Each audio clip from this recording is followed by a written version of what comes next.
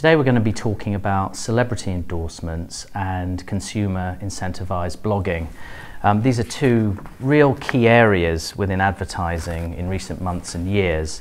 And within the advertising team here at Bristows, we've seen a pretty seismic shift um, in the last couple of years away from traditional advertising media, which includes things like TV, radio, print and billboard, and possibly as a consequence in the, in the downturn and a squeezing on advertising spend, um, a lot of uh, marketing pounds and dollars has, has shifted online um, and principally to social media uh, advertising and promotional campaigns. Um, within social media campaigns, what we see a great deal of is either celebrity endorsements um, or Joe Public consumer blogging and endorsements. Um, many will know watching this video that in the US, uh, celebrity endorsements have been big business for almost a decade now. Uh, the likes of Justin Bieber and Lady Gaga and the Kardashians have had a pretty high profile and are actually making a great deal of money out of promoting various goods and services. Um, it has been reported that Kim Kardashian, for her 140 characters on Twitter, gets paid around $10,000 per tweet. Um, so that just stands as an example of how much money there is to be made in this area. Um, so we're going to look at celebrity endorsements and the rules and regulations here in the UK. Um, but in my view, an area that really is developing is what our peer group are saying about goods and services. So whether we're looking at booking a holiday and we want to know what our contemporaries are thinking, or whether we're looking to buy a new camera, we might go on for recommendations and, and look at pretty high profile blogs that may be discussing uh, consumer products. So again, um, at the end of the talk, we're going to be looking at members of the public and how they're interfacing with uh, blogs and tweets as well. Um, in terms of celebrity endorsements um, here in the UK, the principal battleground is the Advertising Standards Authority and the advertising codes that, um, that they've created.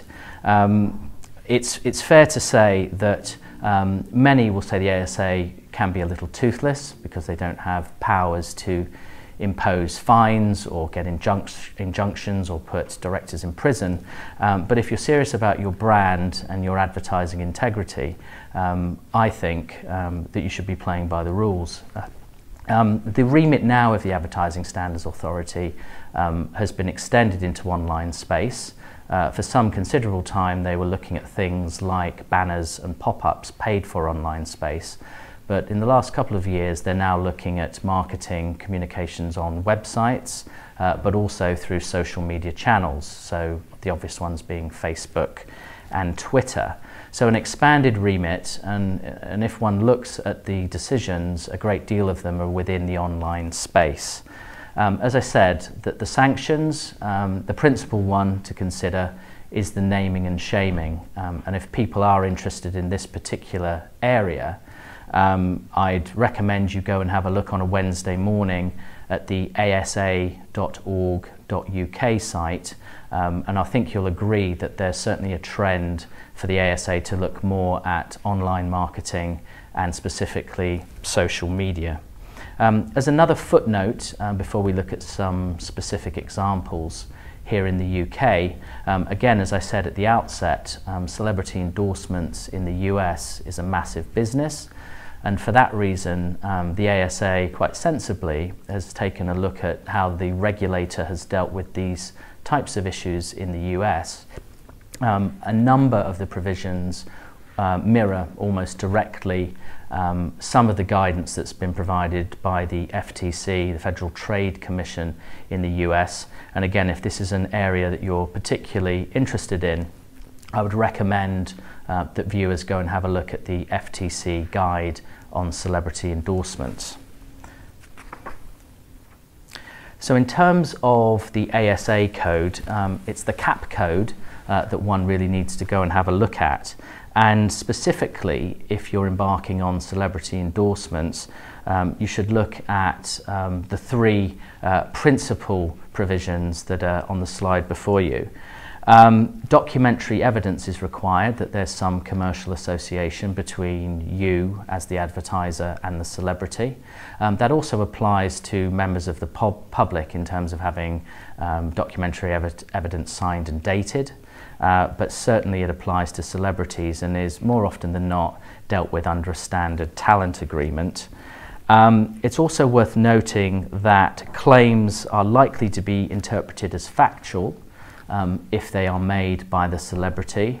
Um, an example here would be if you had Justin Bieber uh, promoting or endorsing your skin cream, if Justin were to go out on Twitter and say that it cleared up his skin in 10 minutes, then if somebody put you to proof as the advertiser, that would certainly be a claim that you would need to substantiate. Uh, you couldn't avail yourself by saying, well, that was just Justin's opinion. Um, if he makes that statement and it's as a consequence of an agreement with you as the advertiser, then you will need to stand behind that claim and back it up. And that's why you should keep quite close controls um, over celebrities that are endorsing your product in terms of the messages that they're putting out in the marketplace. The final point to note um, is that marketing communications must be obviously identifiable as such, which sounds reasonably straightforward, but as you'll see from the examples in a moment, um, this is the area where advertisers most often trip themselves up. Um, so really it's the deception in the minds of the consumer or the recipient um, of the tweet in terms of whether it's advertising or whether it's actually the celebrity's own opinion. Let's take a look at some specific examples. The first um, that we have to look at here in the UK um, involving celebrity endorsements and Twitter was a Snickers campaign. Uh, many would have seen the TV campaign which involved Joan Collins. But in terms of the Twitter campaign, uh, Mars um, behind Snickers used Rio Ferdinand and Katie Price, aka Jordan. Um, this was the whole You're Not Yourself When You're Hungry campaign, which was getting celebrities to act out of character or make statements that were out of character. For example, Rio Ferdinand was tweeting out um, after a Man United game that he couldn't wait to get home and do some knitting. Um, thereafter, he put out another tweet suggesting that he was really disappointed because he didn't have enough wool in the house and therefore had to go to the shop. And ultimately, uh, Rio then put out a tweet, which was the reveal tweet, um, as we describe it, which actually had the um, You're Not Yourself When You're Hungry, the campaign tag, um, at Snickers UK, hashtag hungry, hashtag spon. Um, and similarly, um, Katie Price, Jordan, was indulging in similarly out of character tweets. Uh, Katie Price was making reference to Chinese monetary policy and also various other highbrow economic issues. And again, she had a, a, well, actually the same reveal tweet as Rio Ferdinand, which her third tweet, all within one hour, which is important, um, again had at Snickers UK, hashtag hungry, hashtag spon. Now, complaints were made uh, by members of the public to say, well, we didn't know that this was actually an advertisement. We thought Rio Ferdinand was just um, you know, making his own comments, or Jordan, um, uh, Katie Price was making her own comments, and it wasn't necessarily clear that this was part of an advertising campaign for Snickers. Well, helpfully, the ASA looked at this in some detail, and they said that because the three tweets were within one hour, um, and because the reveal tweet had hashtag spon, which denotes some form of sponsorship or promotion, um, they actually decided not to uphold the complaint and they said that it was clear to consumers and recipients of the tweets that this was part of an advertising campaign. It's probably worth noting that um, had the tweets gone out randomly over the space of a week or two, it might have been more difficult for Snickers to get away with it um, I think it is material that all three tweets um, had an element of continuity and the reveal tweet came fairly quickly so those watching the earlier two tweets would connect it with the reveal tweet, which also lets us all know that it was a Snickers promotion. So that really put down the marker in terms of using celebrities through Twitter And therefore, they made it clear that you could use handles like hashtag spon, hashtag ad, hashtag promo that would alert consumers to the fact it's an advertisement. Later um, in the summer in 2012, um, we had Wayne Rooney and Jack Wilshere, uh, two very well known footballers, um, su supporting a Nike campaign through Twitter. Um, in this particular case, we had both Wilshere and Rooney um, presenting their New Year's resolutions. Um, and this time it wasn't as clear that this was actually a marketing communication. Um, at the end of Rooney's tweet, um, there was the hashtag make it count. And to be fair to Nike, um, there was also a reference to a Nike URL, but it was certainly afforded less prominence. Now, again, complaints were made because some people felt that it was confusing as to whether Wayne and Jack were making statements off their own bat and just giving Nike a plug, or whether it was part of a coordinated Nike campaign.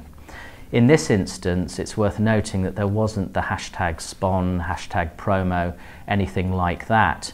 And the tweet itself was somewhat conversational, i.e., something that, that Jack or Wayne may well have said. Um, in this case, the ASA decided to uphold the complaint. Nike lost this particular um, adjudication um, on the basis that it wasn't sufficiently clear to the recipient that this was advertising. And again, the ASA said, had they included hashtag ad, or had it been obvious to the recipient that it was an advertisement, they probably would have got away with it. So again, it's, it's worth looking at in contrast to the earlier Katie Price, Rio Ferdinand Snickers decision. Learning from their um, mistake uh, committed earlier, Nike, um, just over a year later, so at the end of last year, um, actually had another complaint brought against them in terms of a Twitter campaign involving Wayne Rooney. Um, this time, um, however, the result was different. The tweet itself, um, going out, said the pitches change, the killer in instinct doesn't. Over the turf, anywhere, at Nike football, hashtag my ground. Now, in this particular case, although people that were paying attention a moment ago will again note that there was no express reference to hashtag ad, hashtag promo, hashtag spon, um, the ASA felt that it was very clear, given the context, that this was a punchy strapline, almost marketing speak, and then hot on the heels of that, you had at Nike football.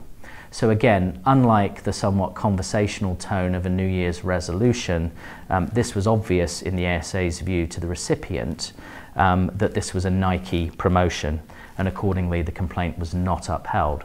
So again, although we have guidance that the hashtag spon, hashtag promo, etc. can be used, it's not so prescriptive that in the right circumstances, as long as the recipient understands the tweet to be an advertisement, you can still get away with it and use it quite sensibly through Twitter.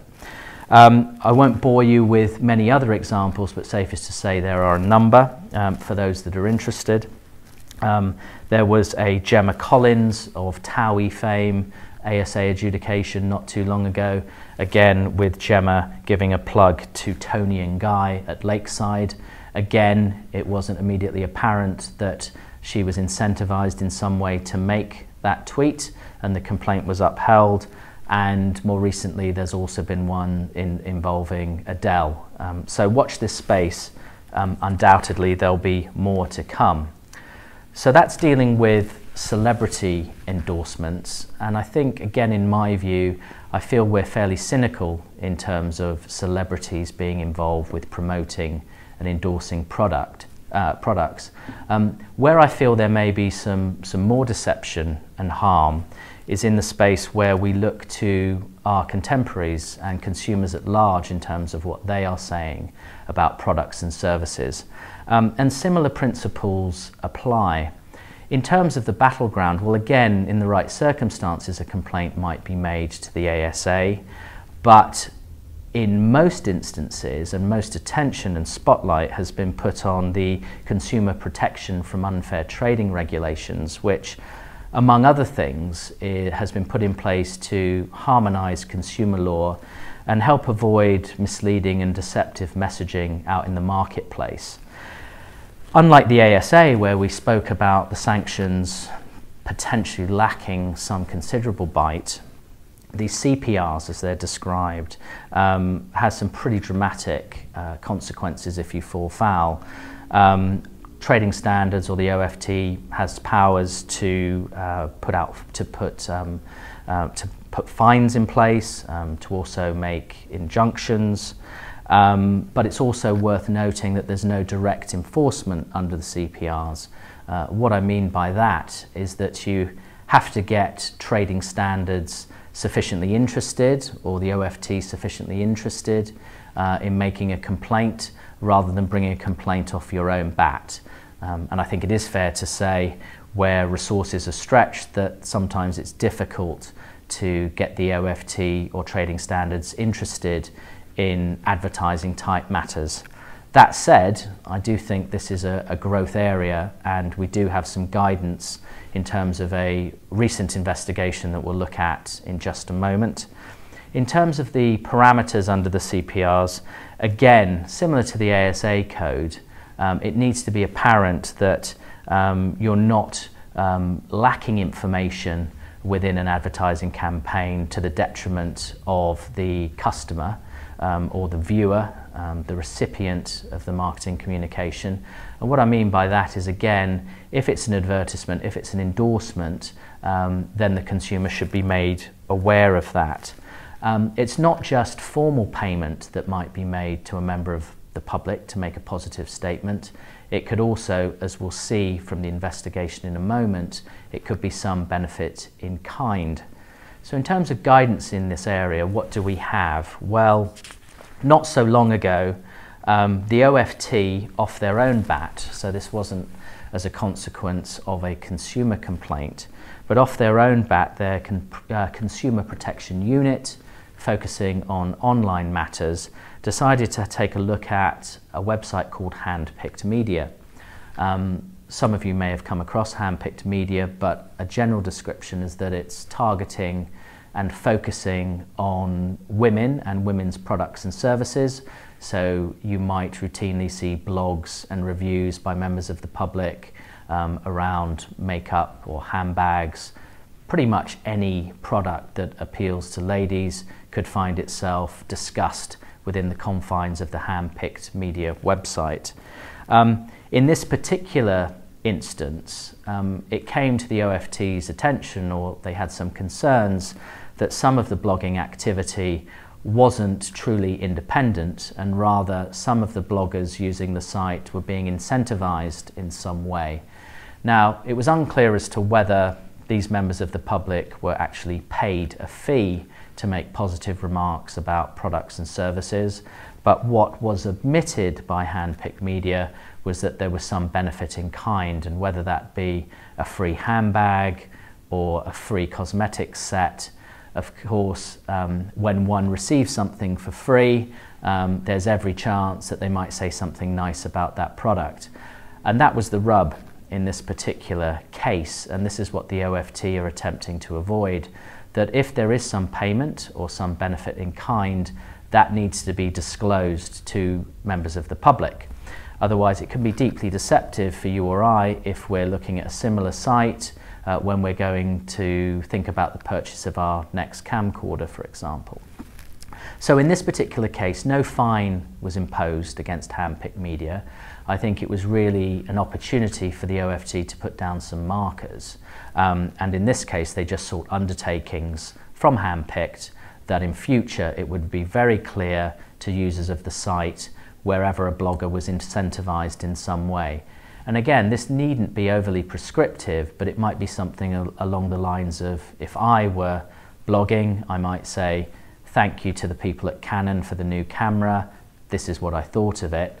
And then people reading that will not necessarily feel it's a wholly independent view of mine, but they can make a weighted assessment in terms of whether I'm just saying it because I was given a free Canon ca camera or because that's what I actually think. So a very important decision and an area that I think will continue to develop. Um, as I said at the outset, I think increasingly we're, we're all using travel sites to do some research on locations and hotels, etc.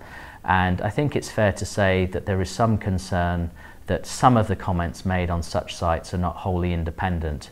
Um, I think the hand-picked uh, investigation and others to come will make a real attempt to try and clean up this particular area. That's really all I had to say today in terms of celebrity endorsements and messaging from members of the public. As I say, when it comes to social media, this is a really hot topic. In terms of a couple of takeaways, um, when it comes to celebrities, I think we've got some very helpful guidance from the ASA in terms of using things like hashtag ad, hashtag spon, hashtag promo to make it crystal clear to recipients that this is an advertisement. And again, when it comes to Joe Public, um, our contemporaries, our peer group, um, again, the hand-picked media example gives us again some pretty hard, fast parameters in terms of ensuring that consumers know that bloggers, uh, tweeters, people that are putting up their own posts are incentivized in some way. Thank you very much.